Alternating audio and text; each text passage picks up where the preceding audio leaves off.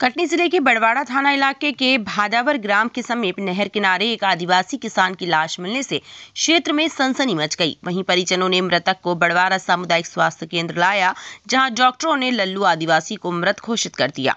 पूरे मामले पर। बड़वाड़ा थाना प्रभारी अंकित मिश्रा ने जानकारी देते हुए बताया कि सूचना प्राप्त हुई थी कि बड़वाड़ा थाना क्षेत्र के बरखेड़ा ग्राम निवासी लल्लू आदिवासी अपने ससुराल भदावर ग्राम में रहता था और खेती किसानी का कार्य करता था।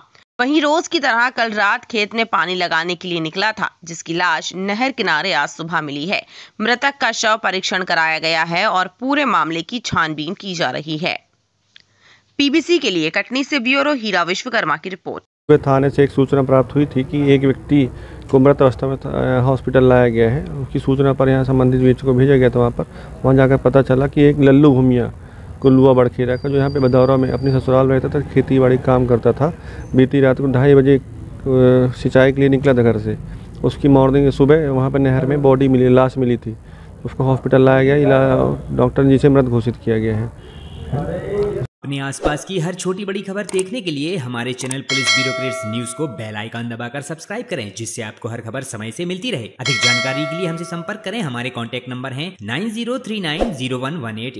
एवं नाइन नाइन नाइन।